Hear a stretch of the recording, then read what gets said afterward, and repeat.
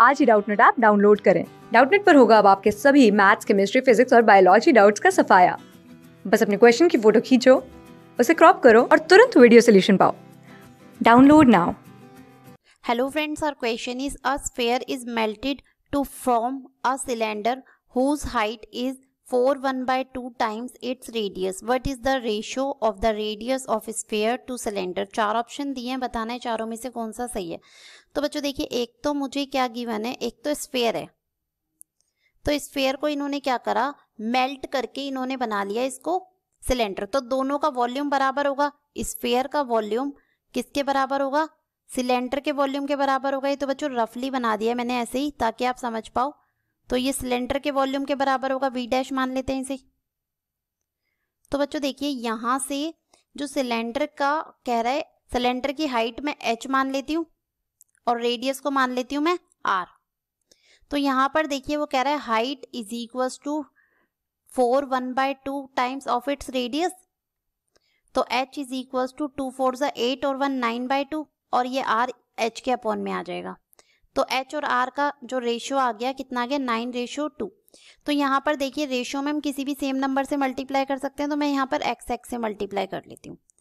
और जो स्फेयर की रेडियस है स्फेयर की रेडियस को मैं मान लेती हूँ आर डैश तो स्फेयर का वॉल्यूम और सिलेंडर का वॉल्यूम इक्वल होगा तो स्फेयर का वॉल्यूम होता है four by three pi into में रेडियस की होल क्यूब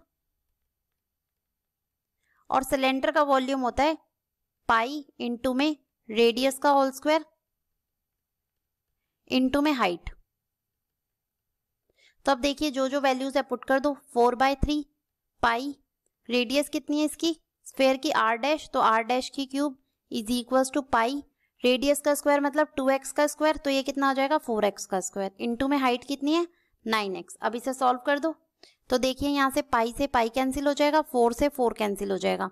तो ये कितना आ गया बच्चों यहाँ से? आर डैश अपॉन ये वाला एक्स दोनों की होल क्यूब है।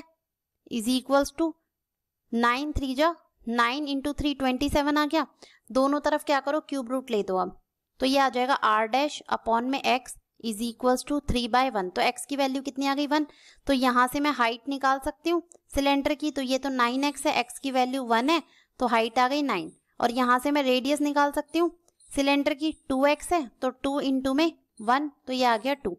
और R dash, that is the sphere की रेडियस तो ये आ गया थ्री। तो क्या पूछ रहा है वो, स्फेयर की रेडियस का सिलेंडर की रेडियस से तो मतलब वो पूछ रहा है आर डैश अपॉन आर तो आर डैश है थ्री और आर है टू। तो कितना आंसर आ गया? Three ratio two. तो डी ऑप्शन सही है। Thank you. क्लास सिक्स से ट्वेल्थ से लेके NEET I I T JEE mains और एडवांस के लेवल तक, दस मिलियन से ज़्यादा स्टूडेंट्स का भरोसा। आज ही डाउनलोड करें डाउट नेट ऐप या व्हाट्सअप कीजिए अपने डाउट्स आठ चार सौ चार सौ चार सौ पर।